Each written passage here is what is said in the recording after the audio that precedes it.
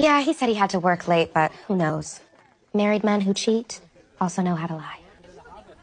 It must be frustrating, never knowing if Rob is going to stand you up for his wife. So this is just a casual fling. Yeah. Rob's wife will get him back when I'm done with him, good as new. And if he keeps working late, it's going to be in a couple of weeks. Oh, good. For you.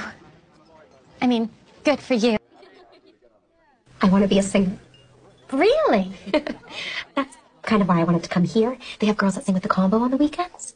So I'm going to introduce myself to the manager, and then I am going to audition for him. I had no idea you sang. I used to play the piano. No kidding. I took lessons for years. The truth is, my husband didn't care for my playing. I made the mistake of telling him I wanted to give a recital, and he just laughed. He said I wasn't as good as I thought I was. Oh, honey. Your husband's dead. Don't you think it's time you stopped